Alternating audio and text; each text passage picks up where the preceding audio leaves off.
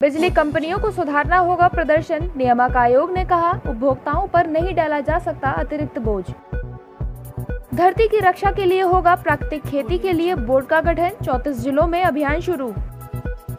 लखनऊ विश्वविद्यालय की पहल, महिला शिक्षकों के शिशुओं की विश्वविद्यालय करेगा देखभाल, बनाया जाएगा चाइल्ड केयर सेंटर आजमगढ़ से निर्वाचित भाजपा सांसद निरहुआ ने सीएम योगी से की मुलाकात, भेंट की श्रीराम की प्रतिमा। मुंशी पुलिया के पास युवकों का उत्पात, मामूली विवाद पर लाठी डंडों से पीटा। एलडीए के नए वीसी इंद्रमणि त्रिपाठी ने किया दावा, लखनऊ शहर के पार्क और होंगे सुंदर। लखनऊ के लोगों को बंदरों के आतंक से बचाने के लिए बनेगा वानर वन। लखनऊ के होटल मालिक से प्लाट के नाम पे ठगे अस्सी लाख।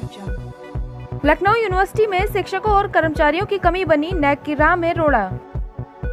बारिश से उड़ी लखनऊ शहर की बिजली। देर रात तक अंधेरा, कहीं केबल फॉल्ट तो कहीं टूटे तार।